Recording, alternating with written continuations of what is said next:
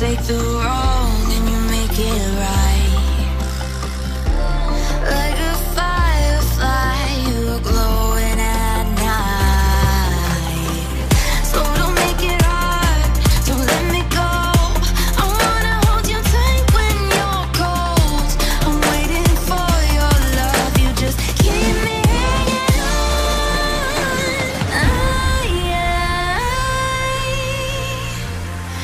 deserve to stay.